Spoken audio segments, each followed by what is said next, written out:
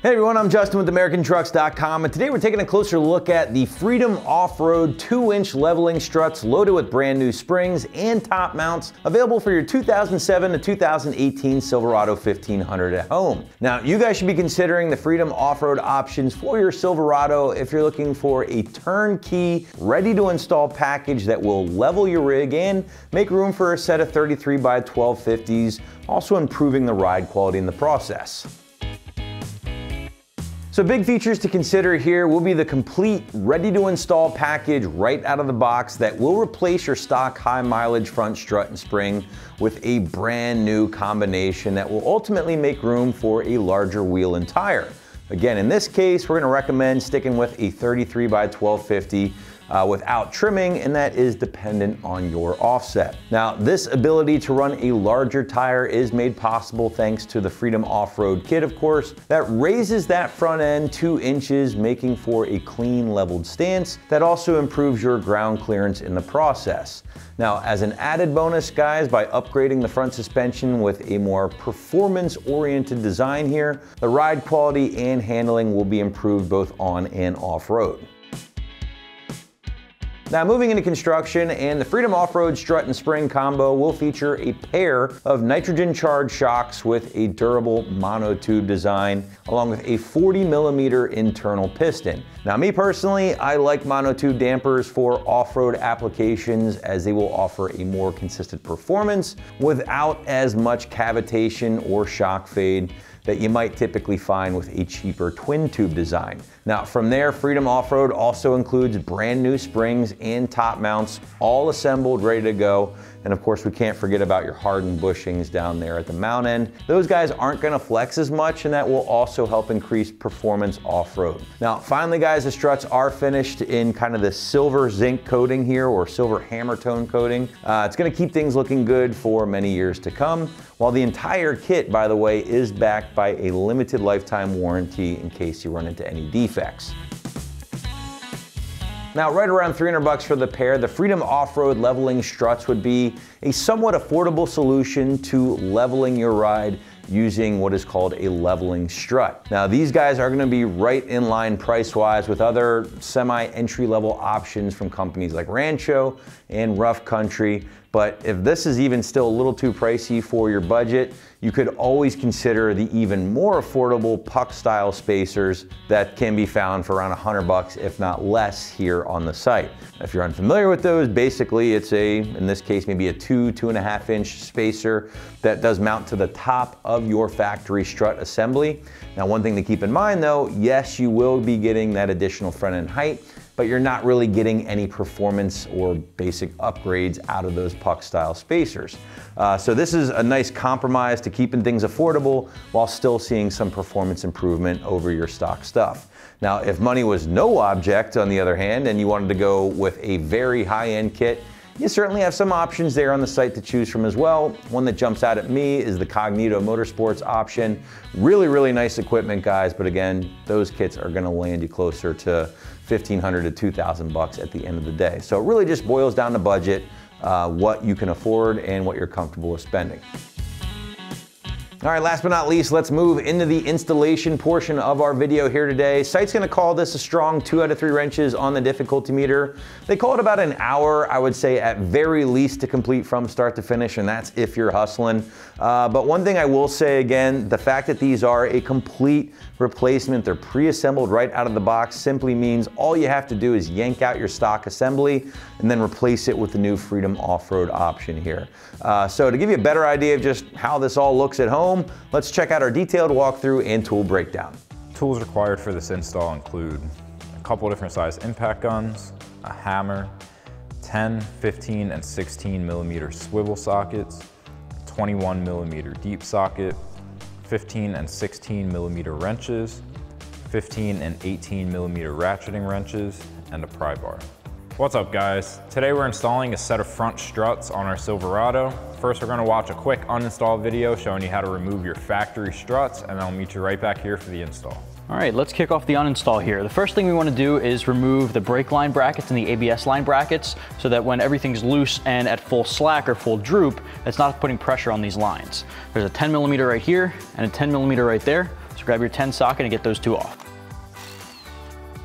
Now what I like to do, just so we don't lose the bolt, is just thread it on a couple of threads right back in the hole while the bracket's loose. That way we know where it is. Same thing back here. Take that bracket off. I'm just gonna lightly thread it back in, just like that. All right, next up, we're gonna loosen up the top nut for our sway bar end link. In order to do that, however, just because there's not a whole lot of room to work with, I'm gonna put a 15 millimeter wrench on the nut on top and use my 15 deep socket on the bolt going through the bottom, and that'll loosen it up. And just like that. Now you don't have to take the entire end link straight down, just wanna grab that nut off the top, and if you can, take the bushing off as well, and just set those aside. All right, next up, we're gonna loosen up and remove our tie rod end. Grab your 21 millimeter deep socket and get that guy off.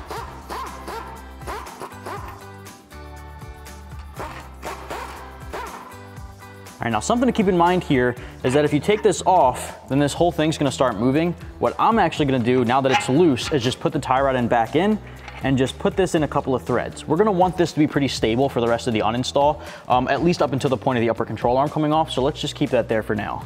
Next, we're gonna be loosening up and removing the nut on the bottom of our upper control arm where the ball joint connects to the hub here.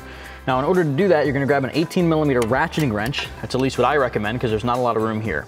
And this is where we want the stability of the tie rod end because we don't want this thing moving back and forth. So let's crack this guy loose.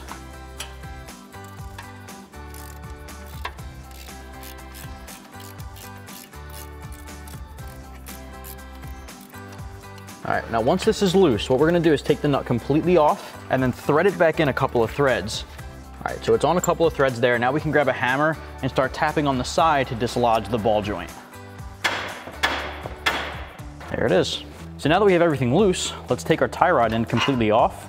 I'm just gonna put this nut back on so we don't lose it. Now we can swivel this guy out. We're gonna push down and remove the nut here. Okay, once this nut is off, I'm gonna set that guy aside. This upper control arm is gonna pop out, so you just wanna be there to support it.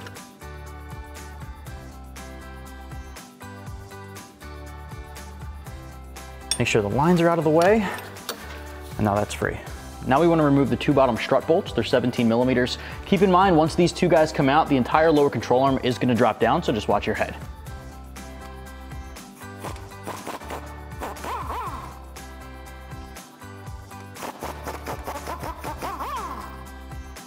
The next step here is to remove the top three nuts. They're 18 millimeters and then the entire strut will come out. Before we can do that, grab a panel removal tool or something similar. There are these little clips holding onto the front stud and then the one closest to the front of the vehicle here on our driver's side. Just gonna pop those guys off. Same thing on the opposite side as well. So once you have those off, grab an 18 millimeter ratcheting wrench and get those three off.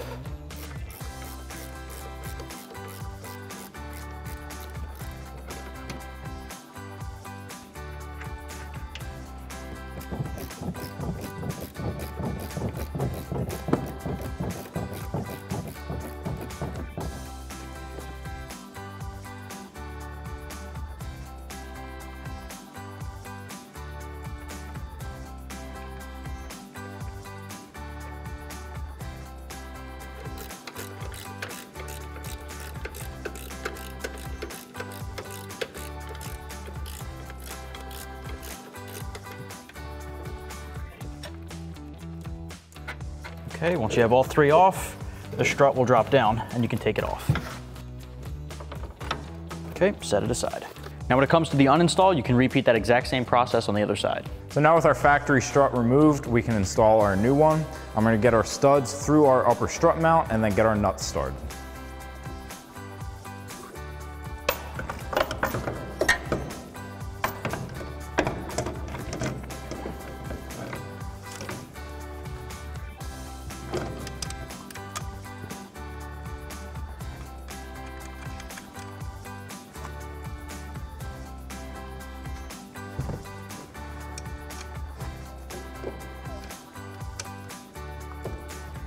Next, we can take our new lower strut bolt and slide that up through our lower control arm.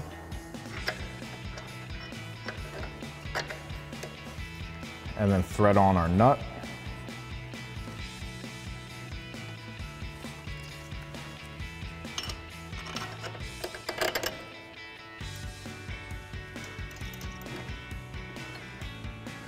Next, we can go back up top with a 15 millimeter ratcheting wrench and tighten down our three nuts.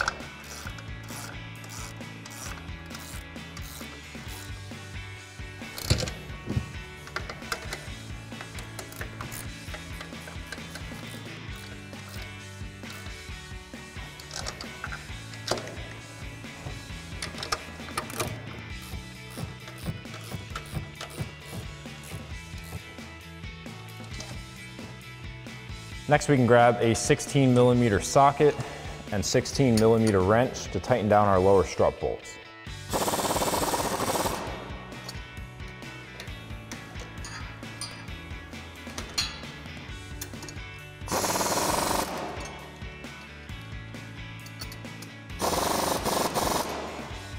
Next, we can reattach our knuckle to our upper control arm. I've got a pry bar to pry this down. We wanna make sure that this ABS wire is in front of the ball joint. And then we can pry down and get our nut on the backside.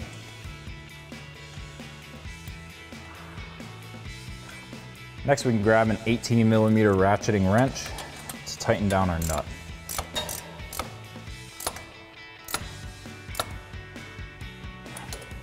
Next, we can reinstall our tie rod end and thread on that nut. And then we'll take a 21 millimeter socket to tighten that down. Next, we can reinstall our brake line and ABS line bracket.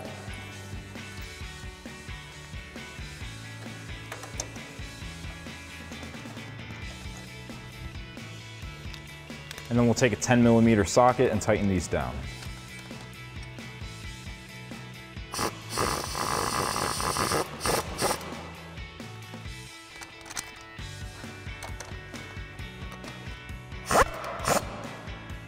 Now at this point, you can repeat the whole process on the other side to catch up. All we have left is to reinstall our sway bar end link. You wanna make sure that you do these together. We'll get it threaded in and then tighten them down together. If you install one on one side and tighten it down, you won't be able to get your end link in on the other side. So now we'll slide our end link into place, slide our bolt through,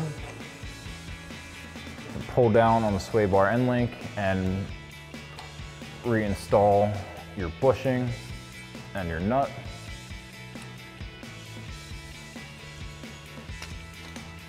Now at this point, you can install your end link on the other side. I've already done this off camera, so I'm gonna grab a 15 millimeter socket and a 15 millimeter wrench and tighten this down. And then you'll do that same thing on the other side. So that'll wrap up this review and install of the Freedom Off-Road 2-inch front quick lift struts for your 2007 to 18 Silverado 1500. Thank you for watching, and for all things Silverado, keep it right here at AmericanTrucks.com.